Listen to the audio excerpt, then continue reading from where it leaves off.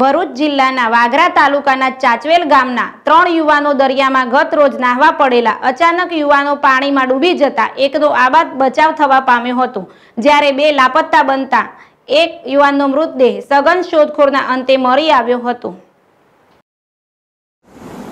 ભરૂચ જિલ્લાના વાગરા તાલુકાના ચાચવેલ ગામના ત્રણ યુવાનો દરિયામાં ગત રોજ નાહવા પડેલા અચાનક યુવાનો પાણી ડૂબી જતા એકનો આબાદ બચાવ થવા પામ્યો હતો. જ્યારે બે લાપત્તા બનતા એક યુવાનનો મૃતદેહ સઘન શોધખોળના અંતે મરી આવ્યો હતો. પ્રાપ્ત માહિતી અનુસાર આમોદ તાલુકાના દેણવા ગામે, ગામથી થોડે દૂર દરિયો આવેલો છે. ત્યાં આસપાસના ગામના લોકો દરિયાના પાણીમાં નાહવા અને તરવાની મજા માણે છે.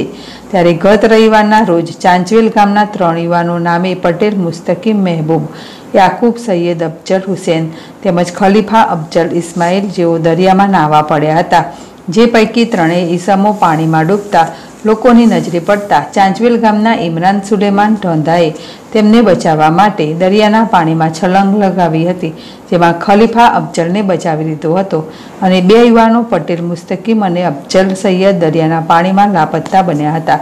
સમગ્ર ઘટનાની જાણ આમોદ પોલીસને થતાં પોલીસનો કાફલો ઘટના સ્થળે તાત્કાલિક દોડી ગયો હતો.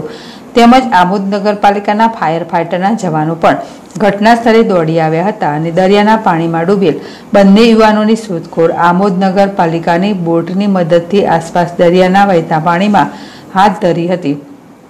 છતાં બંને યુવાનો મોડી રાત સુધી કોઈ સફળતા મળી ન હતી. ત્યારબાદ આજરોજ આમોદ નગરપાલિકાના નરેશ પંડ્યા કારોબારી ચેરમેન શકીલ કાપડિયા, તરવૈયા સુરેશ રાઠોડ, રફીક મલેક, લાલા સોલંકી એ સવારથી જ ભારે જહેમતથી શોધખોળ આરંભી હતી અને અંતે આજ રોજની સંધ્યાએ યુવાનો પાણી ડૂબેલ જે જગ્યાએથી આશરે ચાર કિલોમીટર દૂર અંતરે સૈયદ અફજલ હુસેન નામના યુવાન દરિયાના પાણીમાંથી મૃત હાલતમાં મરી આવ્યો હતો. આમોદ પોલીસે ડેડ બોડીનો કબજો મેળવી આમોદ રેફરલ હોસ્પિટલમાં મૃતકને પીએમ અર્થે ખસેડાયો હતો અને હજુ એક યુવાનની શોધખોળ ચાલુ છે. Yakub Patel JDS TV, Bharuch.